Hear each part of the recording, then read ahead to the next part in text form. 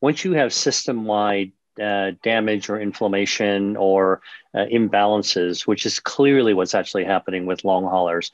I mean, and we can pinpoint it down to the cellular molecular level. The reality is, is that there's it's very unlikely that a single pill or a single prescription is going to actually do the job. Welcome to the Doctor's Farmacy. I'm Dr. Mark Hyman. That's Farmacy with a place for conversations that matter. And if you or someone you love has been infected with COVID and you're not feeling so great, even after you're supposed to be recovered, you might want to listen up for this podcast because it's with my good friend, Dr. William Li, who's a pioneer scientist an incredible human being and uh, is really paving the way for us to understand what we're now calling long hauler syndrome, which is basically like the chronic fatigue syndrome you get after COVID that's not related to the direct infection with the virus, but is something. Uh, he's uh, an incredible guy. He's an internationally renowned physician, scientist, author of the New York Times bestseller, one of my most favorite books called Eat to Beat Disease, the new science of how your body can heal itself. And if you want to learn more, please listen to our podcast we did when the book came out. It's great. Of course, I'm going to say it's great, but it's great because William's great, not because of me.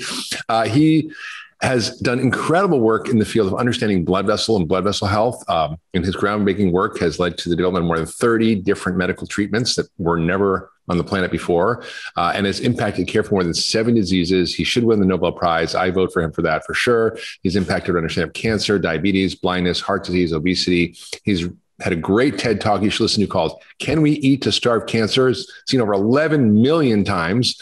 He's been on Good Morning America, CNN, CNBC, live with Kelly and Ryan, the Dr. Oz show, and USA Today, Time Magazine, Atlantic, on and on and on. And he's the president and medical director of the Angiogenesis Foundation and is the leading research in the field of COVID 19. And he's also a very good friend and my gelato buddy. We have a bunch of experts in nutrition who, you know, basically break out sometimes and go eat gelato together, including the dean of uh, nutrition and science and policy at Tufts uh, and the former head of Whole Foods. So it's very fun. Uh, welcome, William. Thanks, uh, uh, Mark. It's always great to be back with you. And let's just say for your viewers and listeners, we make we eat gelato made with whole, fresh fruits and vegetables. Yeah, right. really, no I definitely sugar. my broccoli gelato. Definitely go for the broccoli gelato every time. um, well, we're going to talk about something that is quite scary to me. COVID is scary enough. But what's really scary to me is the after effect of COVID that we're seeing in so many people. With SARS, the original coronavirus infection, there was a 40% chronic fatigue rate at three years in these patients.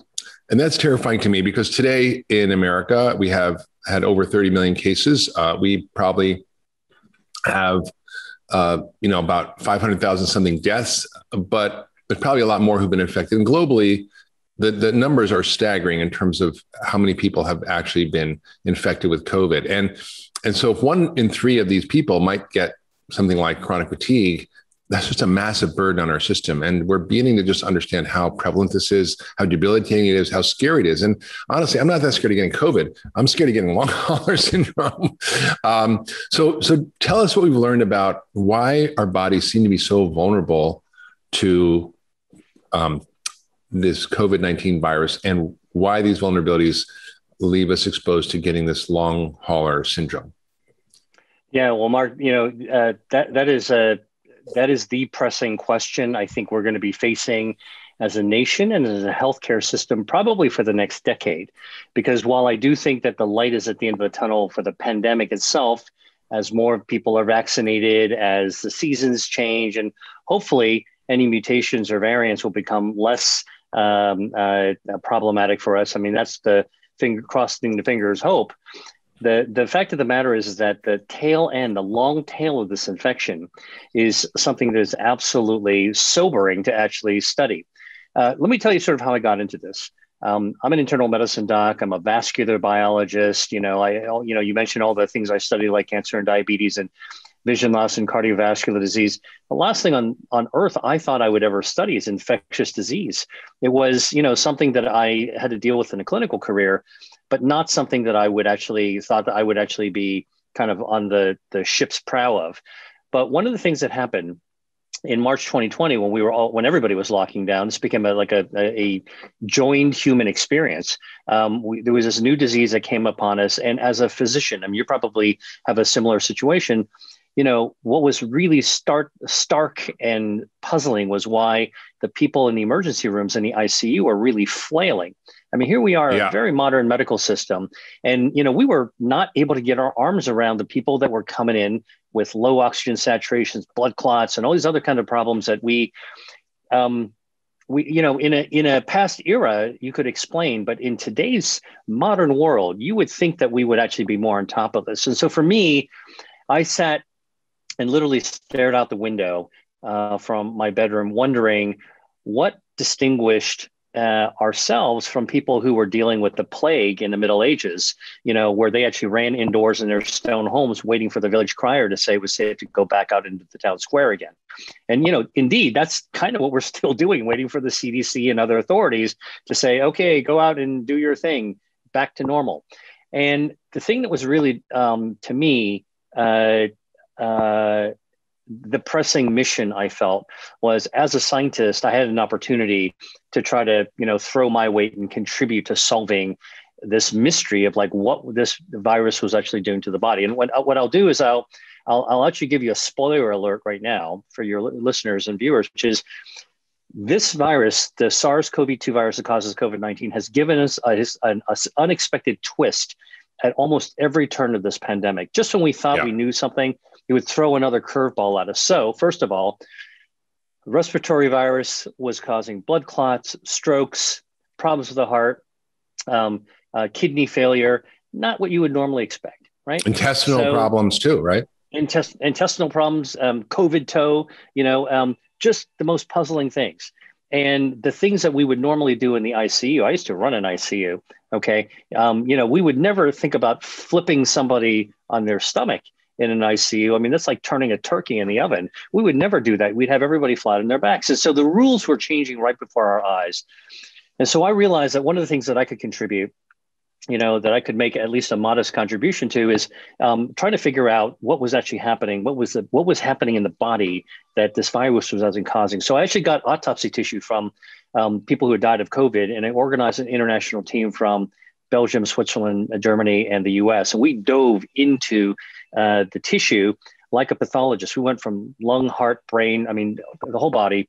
And what we found was absolutely amazing and, and sobering. We found that the um, this respiratory virus was infecting your lungs, but it was also infecting the blood vessels. It was a vascular infection. And we actually saw, you know, we had the first pictures of the coronavirus getting inside the cells, the endothelial cells vessels. And we all know from cardiovascular disease and you know um, and heart health how important these vascular endothelial cells are.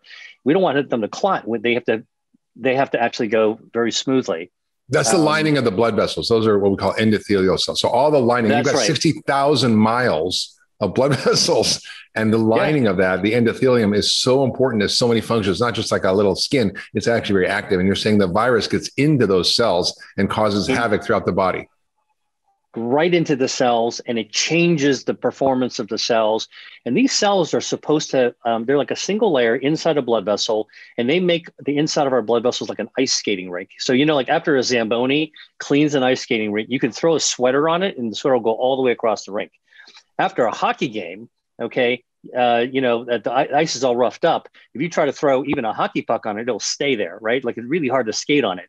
And that's what we were seeing this coronavirus was actually scuffing up that rink inside our blood vessels by messing up that single lining.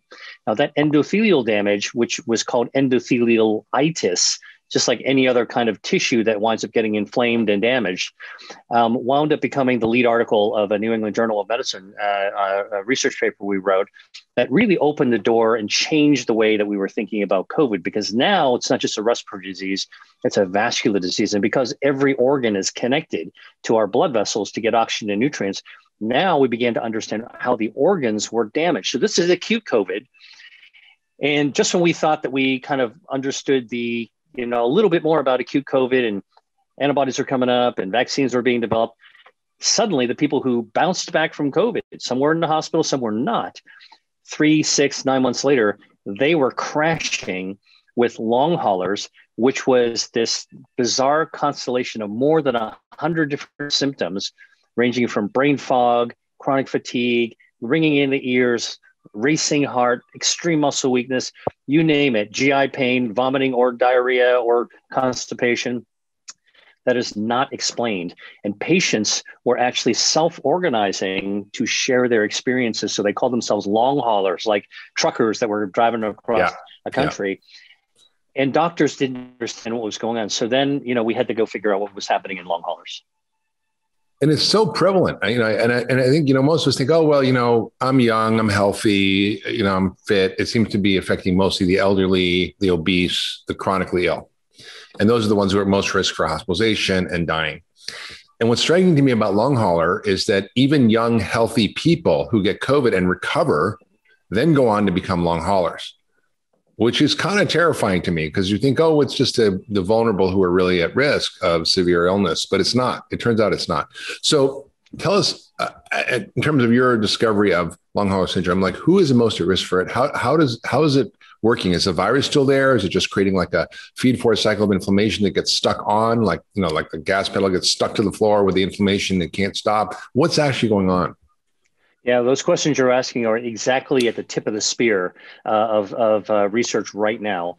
I will tell you there's so many, there's over 100 different symptoms and probably two or three dozen diagnoses that physicians are making, doctors are making to try to categorize what's going on. But you, the sort of the, the umbrella is long haulers. So rather than try to kind of you know do what we do so well in medicine unfortunately is to silo everything and try to go you know an inch wide and a mile deep for every single disease. What i've been trying to do is to figure out what are what are the common denominators of all of these different types of symptoms? How do we understand how the body's responding? Because i mean just like you know the body work you've done mark and the body work i've done you know the bot the the the our the human physique, actually the physiology, winds up revealing almost everything about this about what's actually happening to it. And so, rather than just trying to um, uh, label it with something that's going wrong, you know, what what is the reason that is um, what is the underlying cause? So here's what the three things that the three legs of the stool we found in long haulers. Um, the microvascular damage from acute COVID seems to continue to be there small blood vessels, damage endothelium, the lining of the blood vessels feeding 60,000 miles of your, of your, of your circulation there. We find it. Is, the, is the virus still there though, or is it gone? So this is the thing we don't yet know. When you swab these people who have, are suffering from long haulers, the nasal swab, the saliva test, the fecal test, PCR negative. They don't actually have the virus. So they are, um, by the usual testing methods, not infected. However, yeah. the, the, the bizarre things about 41% of people who have long haulers who get a vaccine, they report that some of their symptoms actually get better. So that, mm. that's another twist. So how would that be? How could it be that a vaccine would actually heal you know what's damaged vaccines are really kind of a shield in general yeah, boost your immune yeah. system prevent more of it so we're wondering whether or not, like in Lyme disease, um, or in syphilis, or in shingles, or herpes, or whatever, right? or herpes, could there be hidden reservoirs of virus that are not detectable with the usual tests that are hanging yeah. out somewhere? Could it be in the crevices of our gums? Could they be, you know, in the testes? Can they be in, you know, all, all these little the crypts of the intestines? Um, we do know that some of the most important health defenses of our body, our microbiome, for example, are thrown out of whack uh, when you actually um, have COVID. And so, you know, one of the things that we really need to start doing now is to try to figure out how do we fortify the body. And I think diet and lifestyle is one of them because, you know, biotech and pharmaceuticals, they'll come, but they take way too long. What can we do for people that are recovering? Now, let me give you a statistic that I think is really sobering. So, um, you know, uh, uh, about a hundred, a little, just under 150 million people have gotten COVID. Okay, about about three ish million people have died. So if you were to divide the deaths over the denominator, you know, it's it's it's it's not the most fatal disease that we've ever had. On the other hand, if a th- anywhere from a third to seventy percent of people develop some manifestation of long haulers, let's be conservative and call it a third. You're talking about 50 million, 40, almost yeah. 50 million people that ha- actually are at risk for developing long haulers. That is a healthcare system crushing disease if it actually if this would be a second pandemic to come out of the first so one of the reasons that i'm so um, passionate about trying to uh, establish what's going on who's most vulnerable what can we do both on sort of the medical industrial side which is very important but also I think on the diet and lifestyle side, because yeah. there's so much we can do to lower inflammation, get better circulation, um, and help improve our nerve function. Those are things that we might be able to actually explore. Yeah, I think that's really key. So, one is sort of deepening our understanding of what's going on. Is there some active virus still there? Is it just residual effects? How do we begin to help the body reset and repair from long hauler syndrome? Is it treatable? I mean, I think these are all the questions that are coming up. And traditional medicine, you know, I believe has very little to offer in, in, the face of, of something like long hauler. At Cleveland Clinic, we now have a recover clinic, which is a, a, multidisciplinary team that's working on looking at the biology of this, looking at what kind of interventions we can use, and using again lifestyle approaches, functional medicine approaches. Um, you know, that may be part of the answer for people. Uh, but you know, what, what, what I think would be helpful for people to understand is that is that um, the blood vessels seem to be part of the key to this. And, and, you're an expert in blood vessels. You spent your whole life studying blood vessels. You created the Angiogenesis Foundation. It's led to you know 30 new medical discoveries and 70 different diseases. What what can we learn from your work about how to approach the vascular damage from COVID and from long hauler COVID? Yeah, so we've actually been actually capturing uh, uh, with imaging the damage of the blood vessels from COVID in lungs of people that have long haulers and they don't have any objective problems by x-ray or ct scan but they still can't breathe. So you know you got to listen to the patient right? Like that's the first thing is to listen to what they're telling us um, in the medical community so we can pay attention. And too many doctors aren't listening. Yeah. And so this is a new disease so we have to like pay super attention. Now, what we've actually done is take the CT scans, and, and I think that you know you, you, you and your listeners will find this really cool. We're able to use um, artificial intelligence and machine learning to reconstruct the blood vessels from a CT scan. So we scan the scan to yeah. reconstruct the blood vessels, and we can actually count the blood vessels. We can look at the density. We can see, compare to a thousand normal lungs to see where the where the problems are and how deficient. And we've had I've had patients who actually are up to eighty percent deficient in their microcirculation of their lung, nine months after recovering from COVID. And wow. to me, wow. like you know, you you talk about something scary uh, this this patient looks completely fine, except that she can't breathe very well. She's like in her mid 40s, and and it doesn't happen all the time. It happens intermittently, and uh, and and that's the scary part. So I think you're absolutely right. The the the usual medical system is at a huge disadvantage with new diseases because what do we what what do we do in the regular medical system? We go back into our toolkit, which is the medicine chest, and look for what prescriptions to write or what tests to do. This being new, if you don't understand the basic pathophysiology, what's going on underneath the body, so we know that blood vessels are missing. Um, so one of the pieces of good news, of sort of the bright light I can tell you about here, the, the cup half full, is that blood vessels we know can repair themselves. We can grow new blood vessels in order to restore our organs. So um, if you were to, you know, cut out part of your liver, it would grow right back, and all the blood vessels would grow right back. We know when you cut yourself uh, or have surgery, when that wound is there, it will grow blood vessels and it will heal up the wound that it'll restore itself. And so angiogenesis itself is an absolutely critical thing the, the issue, though, is with angiogenesis doesn't work very well when there's a ton of chronic inflammation. So now we need to ah. help the blood vessels grow by lowering inflammation so that the healing can take place. And then we want to push the healing faster. So what do we actually do? We know that regular exercise and movement um, actually can actually help grow blood vessels. We know that stress uh, norepinephrine, catecholamines can actually slow down blood vessel growth. So we want to actually be a little more chill, more zen, and exercise and move more. We know that um, when you're you have a lot of catecholamines in your body when you're not sleeping, that slows down healing as well. So again, back to lifestyle medicine, integrative medicine, a lot of these principles that you're not going to go to any of the famous name brand medical centers, they're not going to be writing a prescription for sleep. They're not going to be writing a prescription for yoga. Okay. Now, though, now, I'm not saying that there aren't real medical interventions, but we don't have any treatments for this right now. So clinical trials are just getting started. The other thing I'll tell you is that our blood vessels partly restore themselves, grow back to repair um, uh, using stem cells. These stem cells come from our bone marrow. Something scary, a, a relatively new finding, is that um, COVID, SARS CoV 2, the virus, can get into the bone marrow and change the genetics of our bone marrow. That's truly like uh, stunning. And, and so the, the question is, you know, do we need to do something to help restore bone marrow health? right? So we're not going to be giving ourselves EPO injections like in the hematology lab to pump out more blood cells. We're not going to be giving ourselves blood transfusions, but it does turn out that there are things that we eat that can stun our stem cells in our bone marrow, even without before COVID. Uh, high saturated fat foods, ultra processed foods, processed meats, um, artificial sweeteners, all the things that you know you've been talking about, Mark, for years. I've been talking about for years. There's another reason for us to actually cut down or cut out those things that would stun our, our stem cells in our bone marrow. So anything we can do to tip the balance in our body in favor of healing is something we got to do.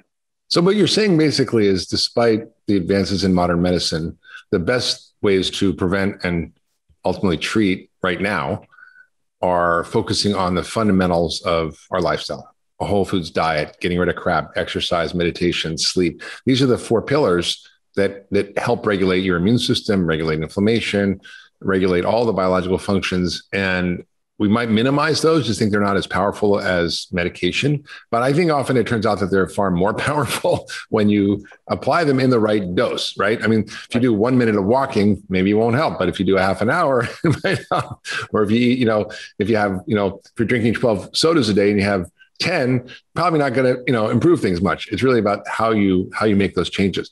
Hey everybody it's dr hyman. Thanks for tuning into the doctor's farmacy. I hope you're loving this podcast. It's one of my favorite things to do and introducing you all the experts that i know and i love and that i've learned so much from. And i want to tell you about something else i'm doing which is called mark's picks. It's my weekly newsletter and in it i share my favorite stuff from foods to supplements to gadgets to tools to enhance your health it's all the cool stuff that I use and that my team uses to optimize and enhance our health. And I'd love you to sign up for the weekly newsletter. I'll only send it to you once a week on Fridays. Nothing else, I promise. And all you have to do is go to drhyman.com forward slash picks to sign up. That's drhyman.com forward slash picks, P I C K S, and sign up for the newsletter. And I'll share with you my favorite stuff that I use to enhance my health and get healthier and better and live younger longer. Now back to this week's episode. One of the things I really want to get into with you is is what is is coming around the corner around understanding the vascular biology of COVID 19 long hauler syndrome, because it seems to me that that's the missing link that explains all the different symptoms people are having. That it, it's almost like a blood vessel disease. You happen to be one of the world's experts in blood vessels, and you sort of inadvertently got thrown into the mix of COVID which you weren't planning on. But it became evident that this is such a vascular problem. So you you were sort of forced to almost dive into it and do this research. What what are you and your colleagues looking at in terms of other besides the fundamental lifestyle things coming down the pike in terms of new treatments to repair their blood vessels yeah. and their health? Yeah, so so I'll break it down into different categories. The first thing we're trying to do is to is to get our arms around a better way to diagnose the problem. And so one thing that we're doing is actually taking CT scans from people who are continuing to have breathing problems in their chest, for example, and we're reconstructing the blood vessels so we can actually see the blood vessels. Like seeing is believing. That's important for the patient to understand what's going on. It's important for their doctors on the team to understand there is a pathophysiology that's not um, invisible it's it's, it's just not in their head. Plain sight. Not in their head. We can we can liberate it. This is not something that you you know give uh, uh, a uh, anxiolytic uh, to try to get to make it go away. This is real. Number one. Number two is how do we actually what can we measure in the bloodstream that could give us a sense of the damage? And it turns out that you know the classic inflammatory markers like CRP don't seem to cut it. Um, so what we're trying to do is de- go to a deeper level. Okay, and this is where vascular biology comes into play um, because over the last 20 years, we've been finding you know um, different uh, uh, particles uh, and different growth factors that reflect blood vessel damage and reflect blood vessel healing. So is it an angiopoietin 2 peptide? Is it a soluble receptor for blood vessels that are trying to fix themselves? In other words, can we detect with a blood test the um, supplies that your repair crew for your body's blood vessels are bringing to all these damaged organs to try to fix it? And we think the, the answer is yes. Um, uh, you know, the NIH actually convened a working group a workshop to really discuss uh, COVID damage, and it was uh, not your, uh, you know, just one division, infectious diseases, but it was the neurologists, the pediatrics, the kidney people, the endocrinologists, all these different specialists came by, and everybody said, look, you know, the cur- common currency that we need to talk about are blood vessels and inflammation, which go hand in hand. So we're trying to, one, my group is trying to help discover new floating particles we can detect. Um, another interesting thing. So a way to uh, diagnose it. A way to diagnose it. Diagnosis, yeah. And then also you want to be able to follow how it changes. Is it getting worse or getting better? And I think that's so it's not just a diagnosis, it's also being able to monitor people to see how well they're actually doing. So imaging is one of the things. So let's talk about what's going on research of treating long hauler syndrome. Now we don't fully understand it yet, so it's hard to come up with a definitive treatment or things that we're still figuring out. But as I mentioned, three legs of the stool, vascular damage, microvascular damage, tiniest blood vessels. Number two, um, inflammation, chronic inflammation, maybe some autoimmunity. And the third thing is a neuropathy problem with nerves. So, one of the things that we're actually trying to do is to figure out is there a simple, um, common pathway to repair blood vessels, repair nerves, and lower inflammation all at the same time, right? So, sometimes you know being more complicated isn't the right solution sometimes being as simple as possible um, can actually at least give you a starting point it's always easier to get more complicated so one of the things we're looking at is nitric oxide NO, which is a natural, which is a gas. Um, it's a natural signaling molecule. Um, it's the stuff that our cells make to repair themselves. It's what our blood vessels use to dilate and to fix themselves. And it's what uh, Viagra and Cialis actually cause the body to make, you know, with the obvious effects um, that they're intended to, to have. So, you know, we, we have actually had Louis Ignarro on our podcast. So he was the oh. guy who discovered NO or nitric oxide and has won the Nobel Prize for it. I, I saw that Lou's an old friend of mine and an amazing guy. And so you know cute. what's amazing? what, what's amazing about Lou is that you know, at, uh, you know, in his, uh, you know, as a senior statesman of research, he is um, the most friendly, accessible, passionate, brilliant, articulate guy that I know. Um, uh, and uh, so I'm glad that he explained that.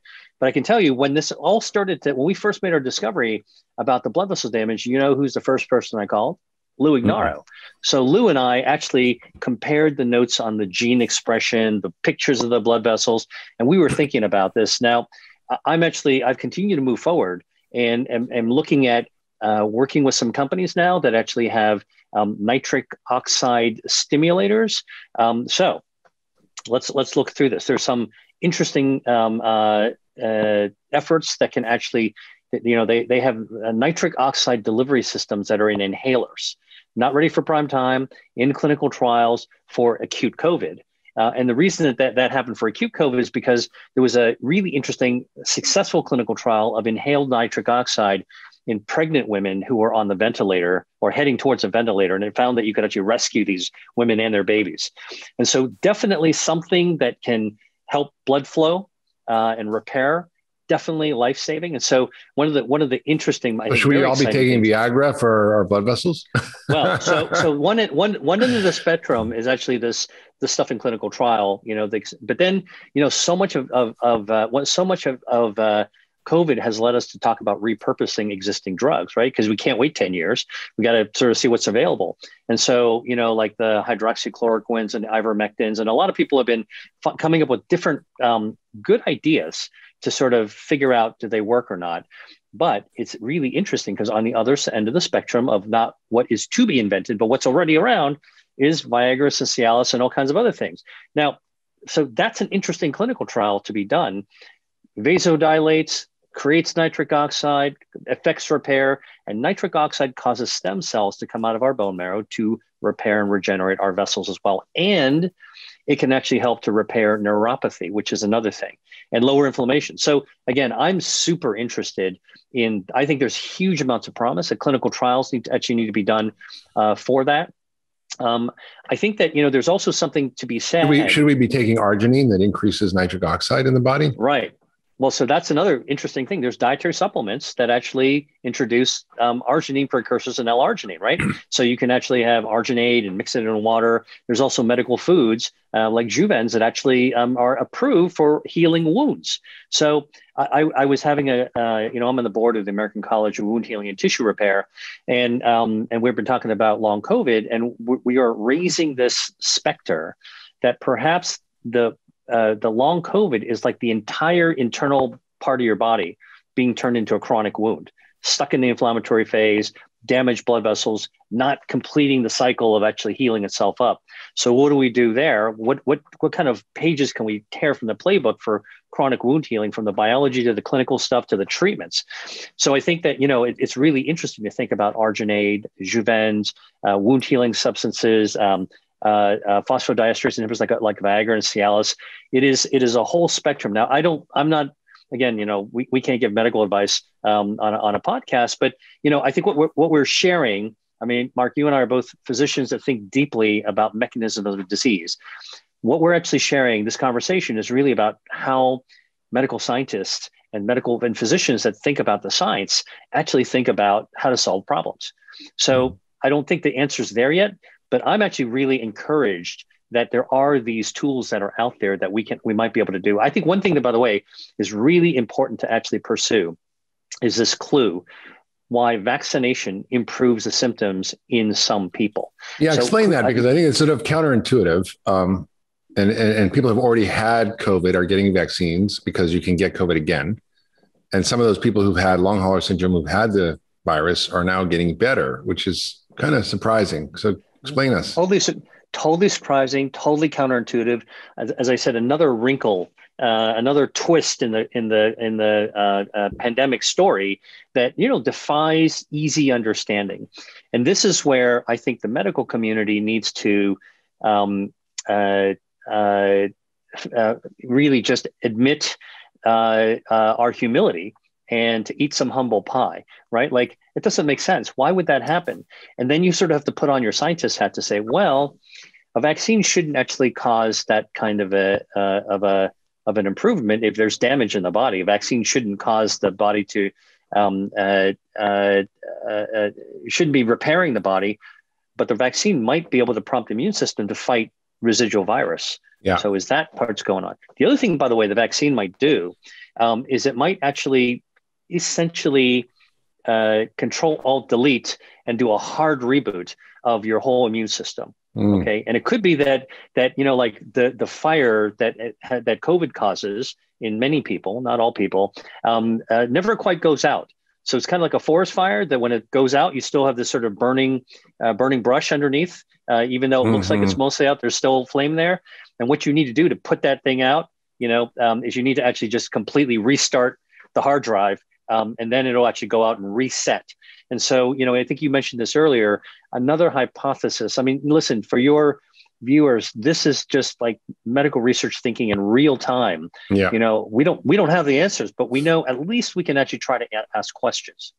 You know, it's, it's fascinating to me that the um, that the the virus, uh, you know, sort of may not be obviously detectable when you do the regular test, but maybe I'm wondering if you're doing biopsies of tissues, if it show. And also, I wonder if we're just stuck in a feed forward cycle, because we see this a lot in functional medicine. People have chronic fatigue syndrome, have sort of weird, crazy symptoms for years and years, just don't get better. They've had Lyme disease, they've had Epstein Barr, they've had whatever, an infection, and they just get stuck, or they have, you know, gastroenteritis and their gut's never the same. So there's this phenomenon in medicine where people get stuck in a feed forward cycle which is very much like you know your record skipping. Many of you listening may not have ever heard, ever had an album, but you and I are old enough to have had record albums, and you know, they skip.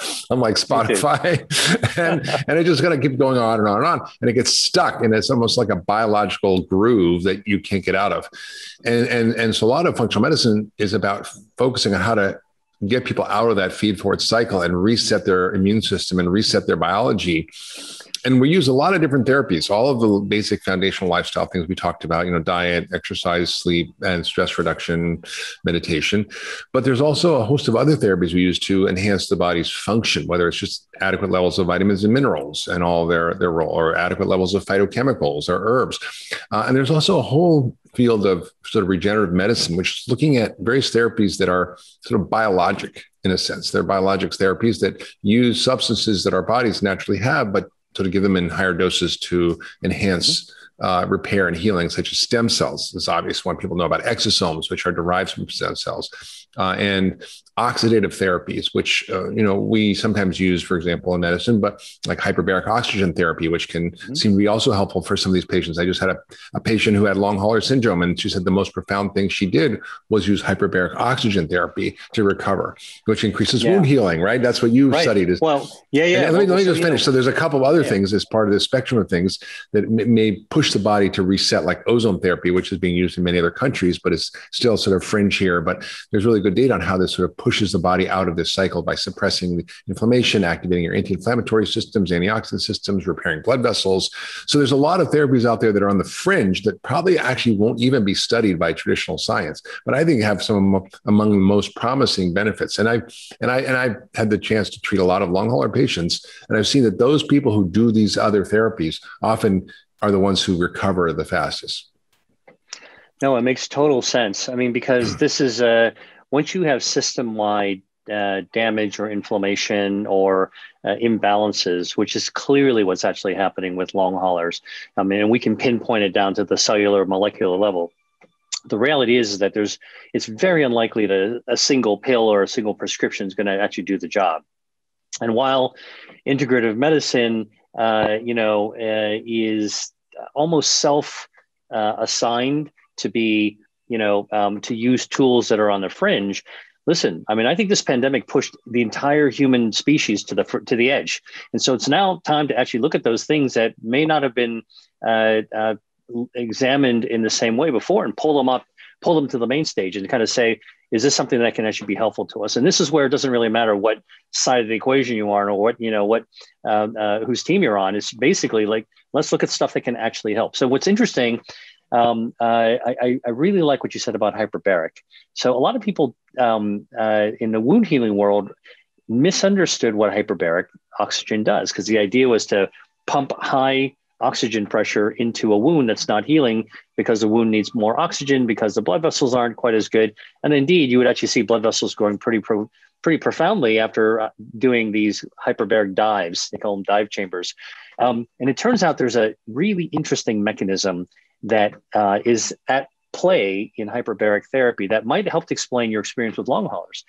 So when you're actually in the chamber, whether it's 40 minutes or an hour or whatever it is, you're you're training the body uh, you're resetting the barometer of the body to get used to high oxygen. And now the patient steps out of the hyperbaric tank uh, or the chamber, and now suddenly their body that was used to very high oxygen suddenly um, is at sea level. Okay, like again, sort of like not, low, low, level oxygen again. Okay, um, or or not not actually having uh, the the same amount of hyperoxy, hyperoxygen. Now you actually trigger genes that are caused by hypoxia, not enough oxygen, and it turns on angiogenesis. And that's really what the blood vessels are growing in response to the change between chamber or not chamber, chamber or not chamber. It's that delta between that tr- that pulls the trigger. The other thing that happens with hyperbaric is that one of the things when the trigger gets pulled is a domino effect, and stem cells come out during in hyperbaric yes. chambers, yes. regenerative. Yes. And that to me, if it's happening in your wound, it could probably happen in your lungs, in your heart, in your brain. And that is really, really worthwhile um, studying. I know that there's some hyperbaric studies, again, looking at the microcirculation. Yeah, and, and that's called an oxidative therapy, which is sort of the opposite of what we typically think of we'd want to do in medicines. We want to take antioxidants, right? And oxidative stress is a bad thing, but it's not necessarily. It's it's just part of our normal regulatory system. So when you have too much, it's bad. When you have not enough, it's also bad. And I think that the effects of hyperbaric or ozone. These are what we call oxidative therapies, using oxygen, which is in a sense um, potentially harmful to the body, uh, pushing it to respond by by giving it this little insult, and then the body responds by hitting repair, hitting the repair setting. Your body has its own innate repair systems. And if you know how to activate those systems, then we can begin the healing process. And I think that's what's happening with long hauler syndrome. These people are getting stuck in a rut, a biological rut of inflammation. And there, there needs to be things that push them off of that. And you can't just take, you know, ibuprofen or steroids or any of that. You've got to figure out how to get the, because the body is way smarter and more powerful than any medication. And if we can activate those endogenous or internal innate healing mechanisms, I think we're going to see a lot of benefit. And that's, that's where I get the most benefit for my patients with chronic fatigue or Lyme or other chronic illnesses that are, are resistant to traditional treatments. Yeah, no doubt. I mean, and you know, and I think that this is where um, we need to look not at the solution as single solutions, but we need to look at the body as in need of multiple solutions and allow its own reset processes to be able to heal. So it's sort of can, can let let the body complete its cycle of healing because the body wants to heal itself. I mean, we've got we're hardwired with health defense systems. I mean, our circulation is designed to operate at its optimal, um, and if you don't have enough, it'll grow more. If you have too many, it'll actually prune it back. And same thing as regeneration. I mean, you know, like our organs are continuously regenerating. We're we're regenerating from the inside out invisibly and silently. And so when we actually need more repair, we need to be able to kick out um, uh, uh, some more stem cells. And a, a great uh, an uh, example I, I, give you sort of clinically is in the burn clinic. So people who suffer, you know, bad body burns, you know, like thermal injury, whether it's a kitchen fire or they're an industrial fire, when they've got bad body burns, that is like this prompt that we need to super repair ourselves, super regenerate. And that's when the stem cells come flying out. You can measure this in the bloodstream. And so, you know, another thing that could be done is actually to measure stem cells in the bloodstream for long haulers at diagnosis and then follow them over time to see if they, they've got, if they need to push more stem cells out, because we can actually measure those now. So in, in the spectrum of what we're learning around COVID-19 and long hauler syndrome, are you hopeful that we're, we're going to be able to take care of this? Because to me, the the prospect of 50 million people globally with long hauler chronic fatigue syndrome, it just seems like a healthcare catastrophe. and in America, you're talking about, you know, let's say 30 million people have had COVID. It's probably twice that easily because those are the ones who've been tested positive and maybe three times that. So maybe it's 100 million. That means, you know, 30 million people in America will walking around with some type of debilitating symptoms. And I don't know how prevalent it is. It depends perhaps on your infection or your hospitalizations or not. I saw one review that looked at cases out of the, um, uh, you know, the hospital where people had been in the hospital with COVID 19 at, at 60 days, 87% had severe symptoms. That's almost 90% of people at two months were still sick. Now, maybe it's less if you're not in the hospital, but what, what is your thinking about that? Well, you know, I mean, I think that there's been two recent studies that um, actually paint an even more dire picture. Um, there was a study published in Nature looking from the Veterans Administration looking at 70,000 patients. I don't know if you saw this study, but basically people had recovered um, uh, uh, from COVID, they had a 59% increase in mortality um, six months or later afterwards. And so this is, you know, this is not just, um, something you put up with and, and get get by with but this actually can trigger even greater illnesses. And by the way don't forget about all these other non-communicable diseases like diabetes and obesity and cardiovascular disease that we were uh, struggling with before the pandemic. This is now a thick layer um, on top of that um, that might actually make the other ones a lot worse. And so i think that you know we're, we're looking at a uh, you know um, a new human disease that we have the science, which is what makes me optimistic. We have the ability to think and peer through the veil of this condition to try to figure out what's going on. And I, I what I'm really optimistic about um, well, let me first, before I say that, let me say what I'm not optimistic about. I'm not optimistic that the pharmaceutical industry is going to come up with that race to find that single targeted therapy that's going to cure long haulers. That I don't think is going to happen. And I've got a lot of experience over 25 years working with biotech. I just don't yeah. think that model is going to succeed. I yeah. do think that they will contribute something modestly, um, uh, and it won't work for everybody. But I do think that there is a um, bright bulb that has now been turned to you know white hot um, sort of the, the, the, sort of white hot heat um, to really be able to look more at a systems biology approach, a whole person per- approach, the very things that you talked about, Mark, and you have been talking about, which you know if anybody has had any doubt that the body needs to heal itself, that we need to actually give the body a chance to heal itself. We need to actually prompt the body and give it every shot uh, to be able to actually affect um, and complete the cycle of healing. And those things are usually not found in a prescription pad. Those things are usually not found in a medical clinic. Those things, you know, they exist in, in people's own homes. So now we actually have to stitch together this continuum between what happens in a doctor's office or you know the Cleveland Clinic or another great medical center with what actually happens at home. And so now this is not alternative. This is mainstream. And what I would tell you is that people who are only throwing drugs at patients with long haulers, they're the ones that's going to be practicing alternative medicine. Well, that's a very interesting perspective. I'm not sure how that would go over in major academic centers, but I, I, tend to agree with you. And I think that, you know, it's forcing us to rethink medicine because uh, what we see with COVID 19 is it's not a respiratory disease, it's a, it's a systemic disease.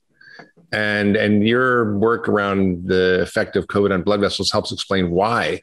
But uh, by working in our silos, we're not going to be able to figure this out. And I think that, you know, in a sense, you know, like autoimmune disease, you know, we can give these powerful drugs to suppress the inflammation, but as soon as you stop those drugs, the disease is still there.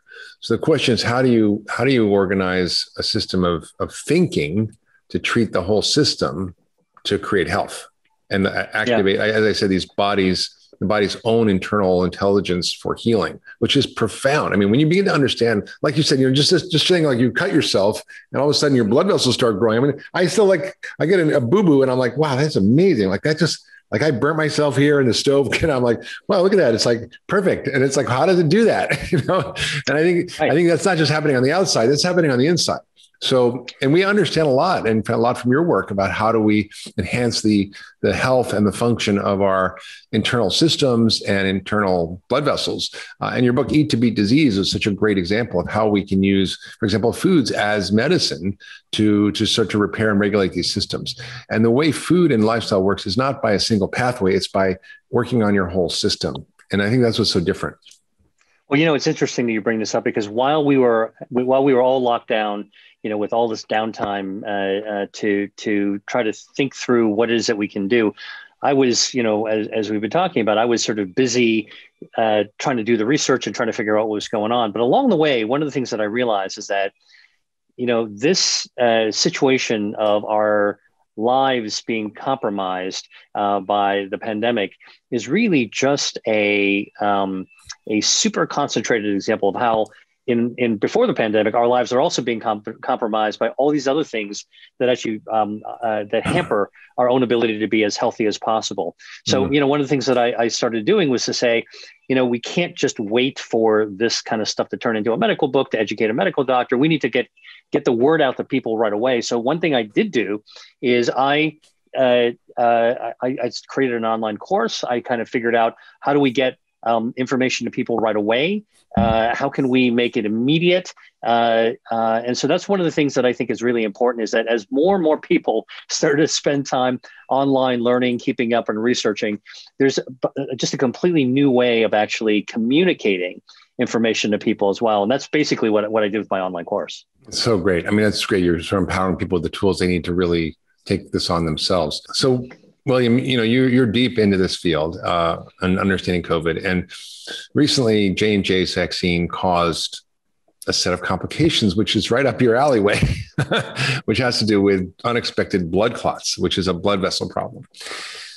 Can you talk about you know, why that's different with, for example, the J and J or AstraZeneca vaccines, which are viral vector vaccines, versus the mRNA vaccines, and and in general, what's your perspective on vaccines? Are they the panacea? Are they just one tool? Are they going to save us or not? And let's sort of go into a little. We have a little few minutes left, so I really want to sort of get your perspective on vaccines. Yeah. Well, first of all, I mean, you know um, uh, I believe in vaccines. I was vaccinated for smallpox and measles and, you know, hepatitis to be a doctor and, you know, um, uh, and a bunch of other things as well, which I haven't suffered those diseases. So I'm a big believer in vaccines. And I've gotten uh, my complete set of the first set of, for, for COVID uh, vaccine as well. I got an mRNA vaccine uh, with Moderna. Um, and, and I'm really proud of it because I think it's really quite um, a miracle that within a year we were able to go from you know um, sequencing the virus's genome to figuring out what the parts that we can develop a vaccine against and actually doing it and making it available.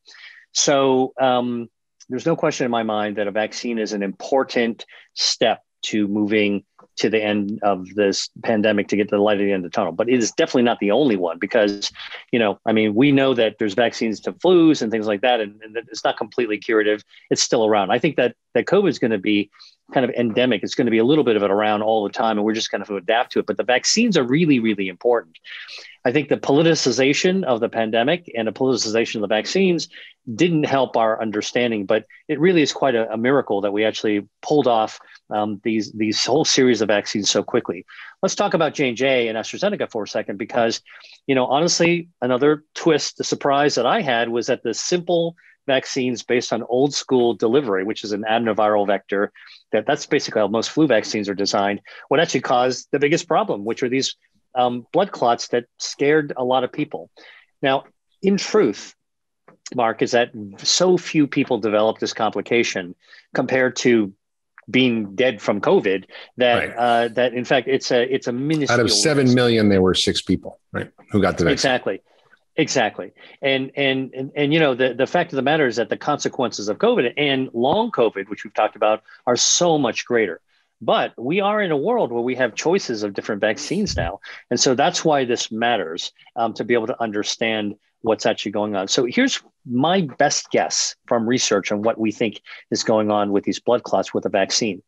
There is something about that spike protein that the vaccine is developed to challenge the immune system on. So, you know, the coronavirus is like a little ball. It's got these little spikes, like a warhead on it, and these spikes stick into the receptor, the ACE2 receptor in our cell. And if we can actually get the spike, it's kind of like a sea urchin, and we can get the immune system to target the spike, um, uh, we can actually knock out um, the, the the the infection. So that's basically how these vaccines work. But you know, something about this spike seems to infect blood vessels and screw up those blood vessels and cause that blood clotting that I showed you. Um, uh, you know, we talked about earlier, and so that you know, like that, I, have been I've been um, looking at, and so I think there is something unique about the armor of the spike protein of this uh, vaccine that if you actually um, uh, uh trigger the body uh, too aggressively, it'll actually potentially cause some of those vaccines, uh, sorry, the va- virus side effects. So here's the thing the uh, mRNA vaccine, which is the Pfizer Moderna, um, once you inject it, like pretty much the mRNA is gone. Uh, uh, you know, within 24 hours. Like once you inject it, it pretty much gets destroyed afterwards. It's already triggered the effect it needs to trigger. The adenoviral, the other vaccines stick around for days. Okay, and so one of the the thinkings is that perhaps by having that spike protein signature stick around for days, it's just pissing off the immune system enough that in some people we're getting this overage of a reaction. So you know there, there's this sort of a, a side of a, sort of like um, you, it's mimicked some of what COVID is actually doing. Now, obviously, it's not happening to a lot of people. I tell people get the get a vaccine, get the first vaccine you can get. Um, whatever it is, don't be too precious about it because we're going to be winding up getting boosters. If you get a J&J now, you're going to switch over to a different one later. If you get a Pfizer now, you might go get a single shot later on with another one. So not to worry, but the key is if you want to step over the line to be protected, to be able to be maskless, to be able to not hurt yourself or other people who haven't been able to get the vaccine yet, just get the vaccine. It's a simple thing. I always tell people I timed it 90 seconds sitting in a chair. It felt like a mosquito bite or less. And, you know, and then I went on and, and literally I felt emotionally like I stepped over a line. The first shot yeah. I got, the second shot, it was like I, I could breathe again in, a, in yeah. an odd sort of way. Like I, I realized that I, I, kind of felt like I had a future to actually look forward to. But but, it, but, but let me challenge on that. Is that is that really true? Because we're seeing that the vaccine is not 100% effective. We're seeing that you can still get COVID even if you had the vaccine. We think you might be still able to transmit it even if you've been vaccinated if you get it and it can be transmitted asymptomatically. So, and and we're seeing all the variants against which it may not work as well. And so, kind of just about the time we get ready vaccinated, now there's a whole slew of new variants from Brazil and from South Africa, you know, yeah. UK, and all of a sudden, like maybe the vaccine's not going to be as effective against those. Uh, we have to come up with new vaccines, booster shots, as you said. I mean, this just seems like a never-ending story, and I worry about you know people are getting a false sense of security from being vaccinated and going out and like partying and i think that could be a mistake that could lead to increased cases and increased deaths absolutely absolutely so um, let's let's pull back for a second and say all the vaccines, like the flu vaccine, you get it every year, you're supposed to get it every year, and it's not 100% effective. And you can still get the flu, even though you get the flu vaccine, because it could be a variant of the flu that takes you down, but you're not going to get as sick. You're not going to get so sick you might die. Now, even some people who get flu vaccines still die from the flu. And so I think what we're aiming to do is to kind of turn this COVID 19 pandemic into something that's much more manageable. I will tell you what the data has shown so far. And we've seen this in Israel, which has done the best job, hands down, worldwide, in getting everybody, as many people as they can, vaccinated so far, is that people tend not to die. Like it, it really lowers, you, you can still get it. You might even get sick, but you're not going to get sick enough where you're paralyzed that you might, you know, go into a, a ventilator and die. That's that that's a big deal to me the, the unknown question, uh, Mark, is whether or not if you get the vaccine and you get infected, you, you still develop long haulers. We think that having a lower um, number of virus particles in your body might be helpful. And yeah, you can still spread it, just like you can spread the flu. If you get a flu shot, you can still it spread it to somebody else as well. I think the the the other underlying message though that you're you're trying to communicate that I so think is important so important is that getting the vaccine is only one part of it. Getting precautions and thinking not only about yourself but other people and society at large is absolutely critical. The the vaccine does not give us permission to go out to party to go out like willy-nilly to start coughing and breathing and going to have concerts again. You know like nothing has changed that dramatically with the vaccines that we can suddenly unleash society and i you know i was at a um, ted conversations live session listening to um, uh, uh, a conversation uh, with a, a, consultant, a business consultant, but who's really a, a brilliant guy named Simon Sinek, um, talk about uh, being asked, so now that we see the light at the end of the tunnel, you know, what are we going to tell people who want to get to, about going back to normal? What, what advice can we give people about getting back to normal?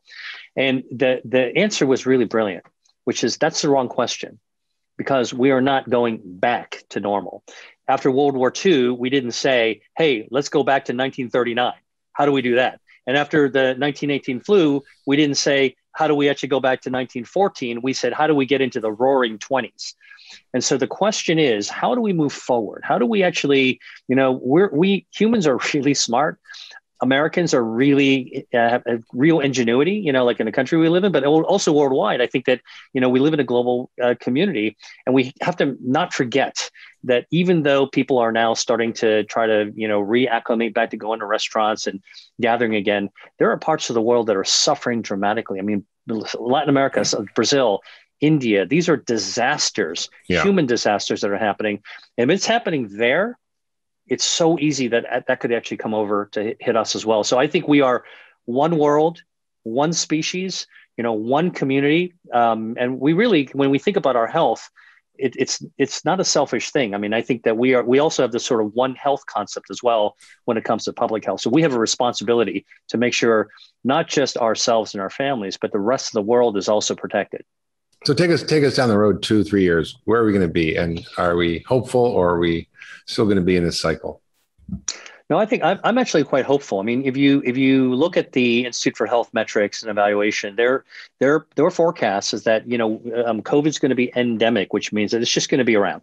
Uh, we're going to accept it and um, it's going to flare in certain points, like in the fall and winter. And then when it gets warmer with uh, high, higher temperatures and humidity, it'll actually go down. So it'll become a seasonal kind of infection. Um, uh, uh, hopefully, with more variants, it'll, it'll, it'll what we want it to do. We want it to mutate like crazy until it mutates itself out of disease mode. Yeah. Okay. That's what we hope. In fact, you know, people are like, well, we don't want more variants. I would say just the opposite. We want this thing to mutate well, we want the right variants. The heck out of itself. we want the right variants until it actually checks itself out. But in the meantime, I mean, I think that we um, we all have shell shock. I mean, this is post traumatic stress disorder for humans. Mm-hmm. Yeah. Like our, our the entire civilization. This is the cough that brought in civilization to its knees, and now we are kind of getting back on our feet. I'm optimistic, you know, that we are going to be able to actually find a way to manage control this thing, but we are not out of the woods at this point yet. So people need to pony up, get vaccinated, continue to be wear precautions, listen to the science, and listen to the people who are talking about policies, good policies based on science, and then let's figure out how we're going to move to 2022, 2023, 2024. So when you're asking me what do I think is going to happen in the next two or three years, I think that this is going to be in our background. I think we're. I think vaccination is just going to happen. Um, we we hope that I, I hope that as many people as um, as we can get to to get behind it will get vaccinated. I think that um, we, you know we'll, actually find cooler and better ways to live. To be honest with you, uh, maybe we'll be cleaner. You know, maybe maybe we'll actually have less flu. Uh, and I and I also think that we'll we'll. Yeah, I bet I bet the number of colds and flu has gone way down because everybody's hiding in their down. houses. yeah. Yeah, exactly. And I think that we're going to have a lot more respect for the power of the body to heal itself. And that's the most optimistic thing, I think, yeah. for folks, you know, that have been in business you and I have. I mean, we've been, it feels like, you know, sometimes that we've been like shouting against, a, you know, like a, like a, like mm. a hurricane on the outside. Um, but I think people are starting to listen because yeah. it, you know, there, there, wasn't an easy solution you could pull off uh, the pharmacy shelf. Now we're actually paying attention to the body and the body tells us it can heal itself. That's a great hopeful message. I think that's what everybody should focus on is the fact that the body's own intelligence can repair given the right conditions. And it's the fundamentals of functional medicine. It's you know sort of innovative therapies that you're developing. It's things like the sort of regenerative or oxidative therapies that might be helpful. We're still discovering it all, but I, I have seen many patients with long hauler syndrome, and I have seen them get better by using a very strategic approach and we're still learning. So I think if you've been listening to this podcast and you loved it, please share with your friends and family. If you know someone long hauler, please send this to them. Uh, we'd love to hear your experiences. Leave a comment. Uh, what's your experience with COVID? It's a long hauler or recovering or not. And uh, subscribe wherever you get your podcasts. Uh, we'll see you next time on the Doctor's Farmacy. Hey, it's Dr. Hyman. If you enjoyed this video, you're going to want to check out this next video coming up. Inflammation, which is what I had, right? Widespread inflammation in my nerves, yeah. inflammation in my gut, inflammation in your brain, you know, in my thyroid. Exactly. Um, it doesn't qualify as a treatable disease. Inflammation. So, no. Right. No, that's right. what I was joking. Say